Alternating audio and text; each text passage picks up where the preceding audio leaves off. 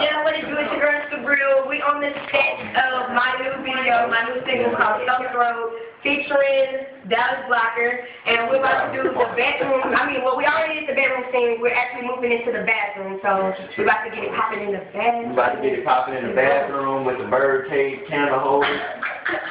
Bird cage.